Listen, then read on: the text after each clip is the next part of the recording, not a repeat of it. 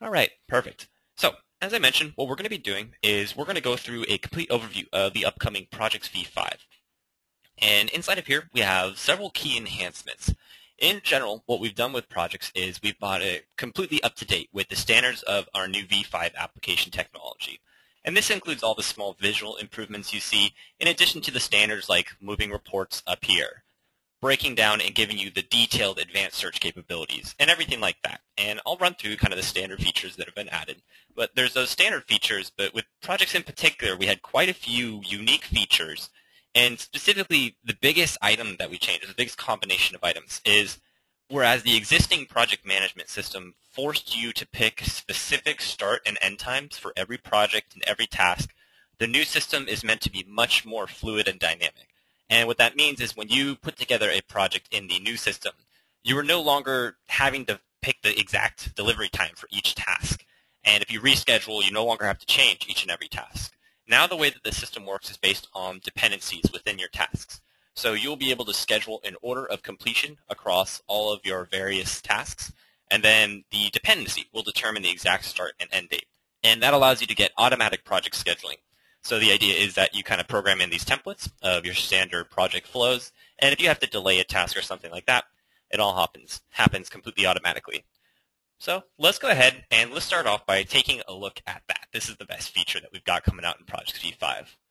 So I have some sample websites so you can see like the whole search interface is now updated. I can change column widths. I can change the columns displayed if I'd like. So I can throw in, show like the billing method of the projects and stuff and now exposes them here. So you can kind of put together your own dashboards. And I'll go ahead and I'll grab one of these existing ones. So I'll just take the Maxilon Custom Website Development Project. And you'll see we have the new side panel view. So you're able to quickly browse through projects. You can get their basic status. And I can also throw on a note or I can send an email out or um, add a follow-up onto this project. All those standard features are now available within one click. So I can easily schedule activities here. Or we still have the classic detailed view, just like the other apps. So here's the detailed view of the project. You can see it's still generally the same. We've gone through, we've done a nice little overhaul, added some better looking icons and everything like that, just visual improvements. But most of the same kind of features are still in place. One change you will see is on the Overview tab, um, we now have the full field customization capabilities that we have in the other V5 apps, so you can add, remove, completely control this. So these are some custom fields, for example. And you'll see we still have the milestones and sub-projects. Done some general interface improvements here. Everything is definitely optimized for performance. So the whole new system is going to run drastically faster than the existing system. And you'll see everything just looks a little bit cleaned up, a little bit more modern. So it's all brought up to date. But let's dive through the meat of it. One of the key changes is we used to have a Gantt chart displayed right here on the top of the Overviews tab. And it was a very basic Gantt chart. You couldn't even make changes from it and that's all changed. The Gantt chart is now one of the best features of our project management system. And here you can see what we've got is the visual breakdown of our entire project flow. So this is much more comprehensive than our existing Gantt chart where now we can see it's color-coded, so you can see milestones versus the tasks that are completed inside of them. And you can see the order of completion.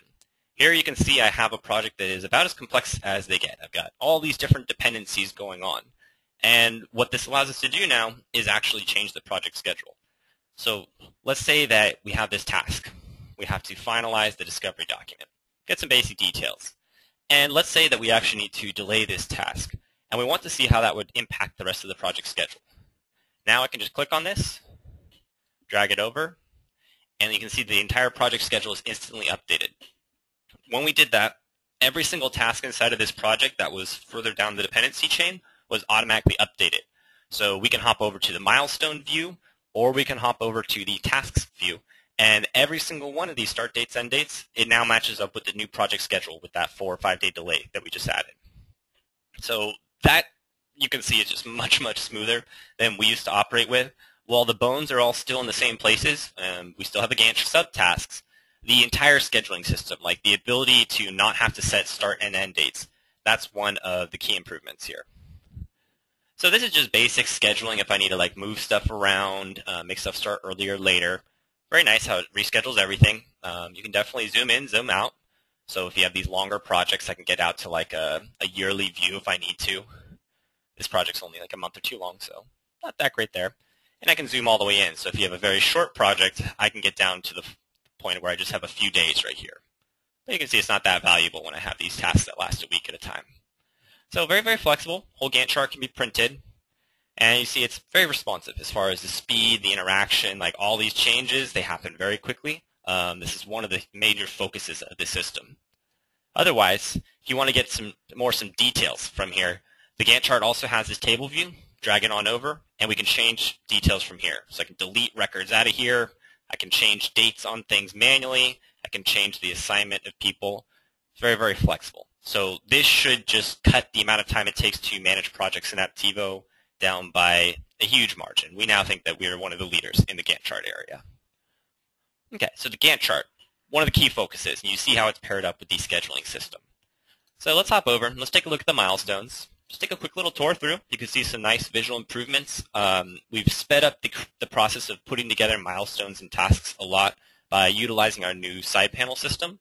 You'll see I can easily edit a milestone by just clicking inside of the side panel now. So if I want to update the status of it.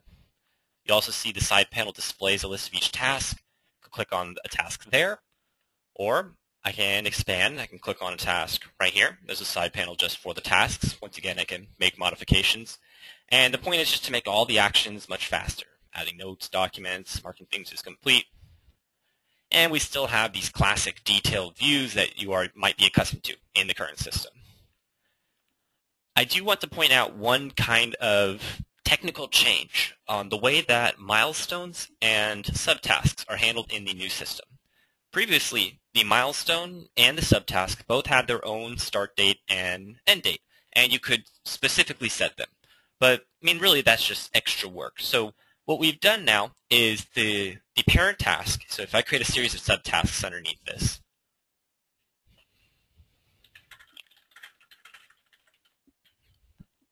then I can go through, I can create a list of several different subtasks. The idea is that then the parent task becomes a container. So rather than having its own start date and end date, it'll just have the start date of the very first task, and then the end date will be the end date of the very last task to be completed. So it really just becomes like a container um, for all those other tasks. And it's the same thing for a milestone. So you never have to worry about setting the start date or end date of a parent task or a milestone because it'll just change dynamically with the, the duration of whatever's contained inside of it. Okay, so we've got the milestone view. We've got the Gantt chart view. See just general visual improvements. Um, we've now separated out the budget details. So you have a standalone budget tab. We're going to be adding some additional reporting and status details in here as well. Team tab remains generally the same. Nothing too big here. Same thing with the scope tab. No major adjustments. We still have our 360 feature. We've added a couple more apps in here. And you see we have introduced the follow-ups feature onto the project. Although keep in mind one of the capabilities that we have in new V5 is the ability to disable some features. So most of these are kept generally intact. All this should function basically the same as you're used to in production.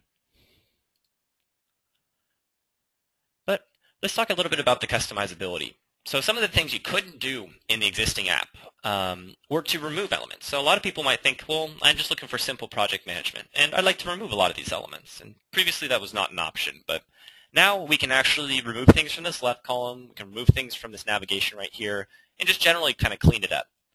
So we now have the settings area, just like we had before, but there's additional settings that are now available. So for example, if I don't want to utilize the follow-ups feature, I can now completely shut that feature off no problem at all. And now I just don't have to worry about having follow-ups in projects. And in the left column, let's say that you, you never work with billable projects. So you just want to go ahead and you can hide that.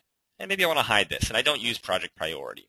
So I can actually just remove those views, and I can even rearrange these items if I would like to make them display differently.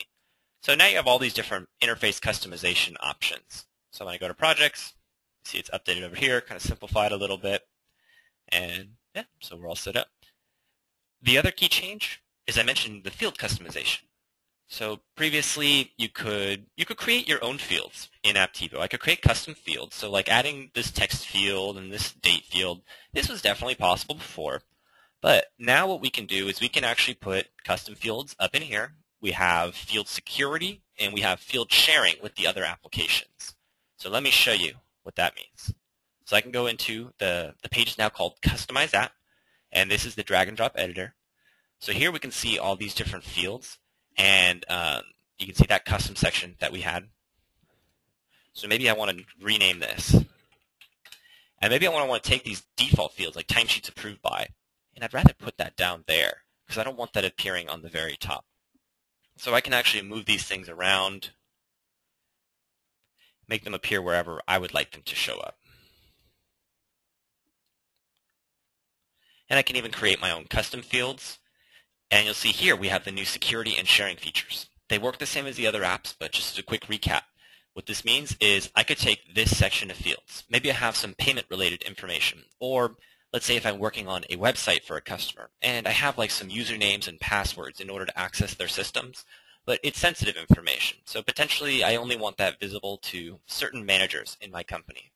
I can actually enable the security, and then you'll see I have the option to select a privilege. So this allows me to restrict it, so I can create a special privilege called like project um, credentials, and then inside of the Employees app, you can assign this project credentials privilege to only specific people. And then you have the option to either make these fields completely invisible to other users, or you could just make them read-only to other users. So definitely a lot more flexibility in hiding features and hiding elements and different details in this new version. A lot of attention on security. Um, another thing we have is if I have a completely custom section, so let's create a brand new section. Let's call this, um, let's stake on the web design project. So maybe I do have something like um, FTP username. So I've got these couple fields, and let's let's utilize all these features. Let me show you how cool this is. So I'll put two sensitive fields in here. I don't want these visible to everybody. So I'll get them in my order. Then I'm going to secure them.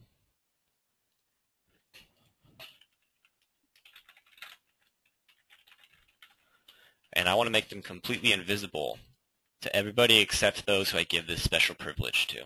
Whoops, I have to select the privileges created. Okay, so I've now secured them, and I also wanted to make it available when I'm tracking my sales. So I'll show you the connection with the sales applications too, because we've improved that. So I just set up that field. Now every time I create a project, I've got that. And we're just going to run through a couple, few more minutes. And I want, what I want to show you is kind of the flow from opportunity into project to create a project template and show you the new improved process. So we still have the same existing template system. You'll see here, um, you'll have your templates there. Actually, if you have any existing templates, they will still display in here, but you'll probably want to edit them and add dependencies and utilize all the new features that we've added. So here I've got a, a template for website development. And you can see it's configured with a set of standard milestones and a bunch of tasks inside. So I've got all this defined ahead of time, and I just generate a new project from this template every time. So let's say that I'm working on a sales opportunity.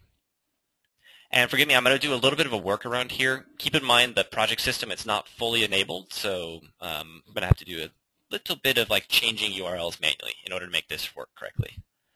But okay, so I've got this sales opportunity, Bob Jones, and he wants a new website. So I'm working on this opportunity with him, and eventually I get to the point where we close a deal. So maybe I create an estimate or something like that, but for this case, let's just go straight to a project. One thing you'll see is I shared the project fields with Bob. So here I can type in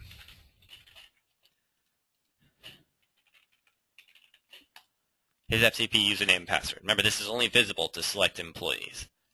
And now I can convert it to a project. And here's where I have to do my little trickery. Hopefully this works. Beautiful. We'll see the website details there with all the fields. They came right through.